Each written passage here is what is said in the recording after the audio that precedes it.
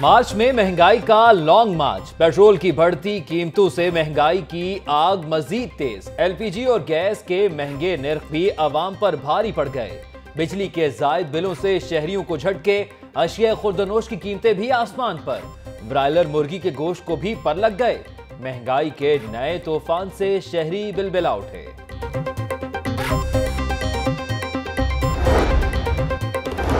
ہر فرد جذبہ حب الوطنی سے سرشار جہریت کا ام سے جواب دینے کے لیے تیار۔ پاک فوج کے ساتھ شہری بھی ہم آواز۔ چوتھے روز بھی ریلیاں جلد سے جلوس اور مظاہرے۔ ریلوے ملازمین کی ڈیزل شیڈ کے باہر احتجاجی ریلی۔ نریندر مودی کا پتلا بھی جلایا۔ پاک فوج کے ساتھ شانہ بشانہ چلنے کا عزم۔ لاہور ایئرپورٹ پر فضائی آپریشن چوتھے روز بھی بند تین سو پروازیں منسوخ، ایک لاکھ مسافر سفر نہ کر سکے۔ علامہ اقبال اور والٹن ایئرپورٹ چار مارچ تک بند رہے گا۔ اسلام آباد، کراچی، کوئٹہ اور پشاور ایئرپورٹ پر فضائی آپریشن بحال۔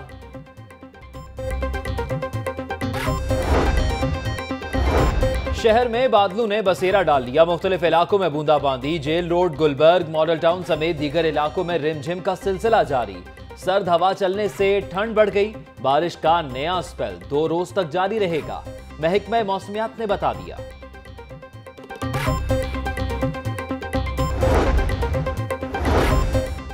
بینکنگ عدالتوں میں ججز کی دس آسامیاں عرصہ دراز سے خالی۔ ہائی کورٹ کے چھ مرتبہ مراسلے کے باوجود تقرریاں نہ ہو سکی ہزاروں کیسز التوا کا شکار ہو گئے۔ سکولوں میں صفائی ستھرائی کا معاملہ چار مارچ سے نو مارچ تک ہفتہ صفائی منایا جائے گا۔ ڈائریکٹریٹ آف پبلک انسٹرکشنز نے پلان جاری کر دیا۔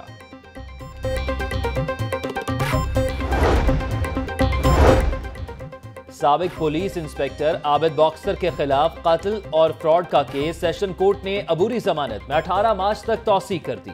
شہباز شریف، عمر فرق اور مشتاق سکیرا نے جھوٹے مقدمات درج کروائے۔ بے گناہ ہوں، عدالتیں بھی مجھے بے گناہ قرار دے رہی ہیں۔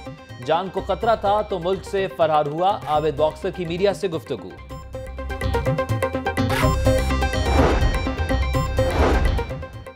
کتنا کمایا، کتنا ٹیکس دیا، سب بتاؤ۔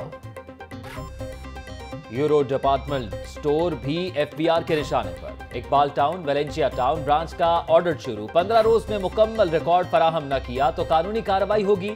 ایف ای آر حکام کی سٹور انتظامیہ کو وارننگ اور آواری ہوٹل میں جشن بہارا میلہ، مختلف کھانوں کے سٹال لاہوری من پسند کھانوں سے لطف اندوز ہوئے۔